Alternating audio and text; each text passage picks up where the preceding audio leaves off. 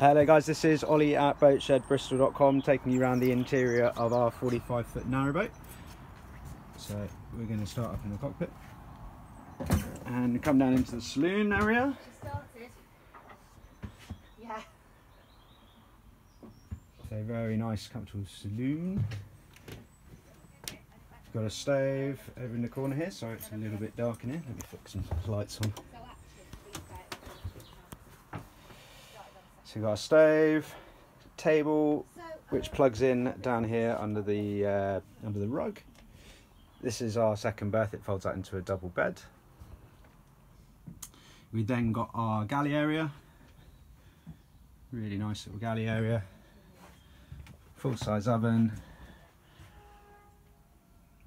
Water heater. Some storage. If I spin it round, we've got our sink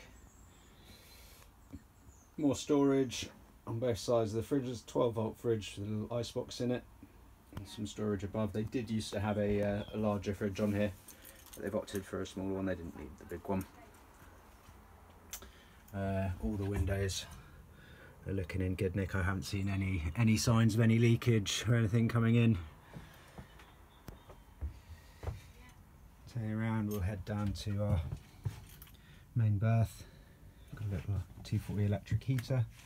Again, more storage. This actually folds into two uh, sofas, so it could be two singles or a massive double. And got our cratch at the front there. Again, storage either side. Got a wardrobe in here. And if I spin this round, we've got our heads as well. So manual cassette toilet sink and uh, a nice big shower as well.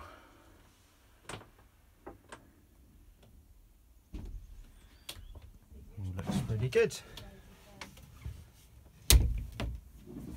Spin back I'll show you back.